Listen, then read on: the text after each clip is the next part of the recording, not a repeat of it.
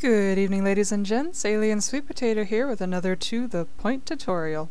Today's episode is on Ancient Warfare 2 and how to get started. There are three things that you're going to want to make right off the bat. The first is going to be the research table, the research book, and the engineering table. Let's start by crafting the research table. We're going to need one chest, one piece of wood, one crafting table, two gold ingots, and four iron. That gives us a research station. The research book is going to be four leather, three paper, and two iron. And last but not least, the engineering station which is where you're going to be crafting everything for Ancient Warfare. Much the same as the research station, but without the gold. So it's just iron. Now, I'm going to place them right here. The book is extremely important. It is the basis of how you craft anything in Ancient Warfare 2. So you're going to click once with the book as your active item on your hotbar in order to set you as the researcher for the book. Now if you, sorry that was a right click to do that. Now if you right click again after that, you have all of these categories and if you click on them, you'll see what each one will give you when you research it.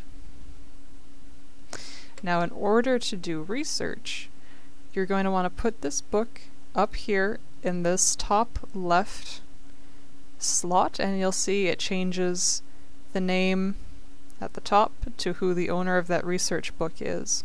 You don't need to worry about these three buttons for right now. I'll be covering them in a later tutorial. It will help to automate your research. You're going to want to go to the research queue and pick whatever uh, category best suits the first things you want to be doing. If you want to remove items from your research queue, you just hit the uh, minus button next to them and you can add them back at any time. As I said, you can look them up through right-clicking on the book and see exactly what each one gives you. Another way of seeing the categories and what they will give you when you research them is to just hit the info button next to the book while it's in your research station. So our first one is invention. In order to research any category, it's going to take resources. This needs charcoal, string, sticks, and torches. So let's go get those. So when you have all of your items together, you're going to place them on the left side in the same pattern as what it shows you it needs. And it'll initiate research on its own. Don't need to press anything. Now that's done, it'll go to the next item that you put in your research queue. And you can hit escape to get back to the main interface, and it'll show you the next set of items that are needed for research. When you've completed researching the category that you need, and you're ready to craft, you're going to take your research book and put it in the slot in the top left of the engineering station. Some of these categories, like uh, invention that I learned and siege warfare, don't actually unlock items directly, they unlock other categories for you to research. If you click the check mark button in the top left, it toggles between category view, that tells you what each category does, and item view, that tells you what research you need to get the item you want. So we already learned invention.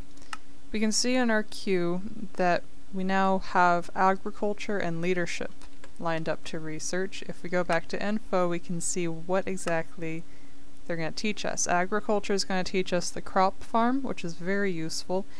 leadership is going to teach us all the things that you need in order to be able to spawn NPCs, which are what does the work for you. It's the automated aspect of Ancient Warfare 2. We'll be covering each aspect of this separately in bite-sized increments. In the next episode, we'll be crafting NPCs to start work for us, and I'll show you how to get them working. This has been Alien Sweet Potato with another To The Point tutorial. Happy adventuring!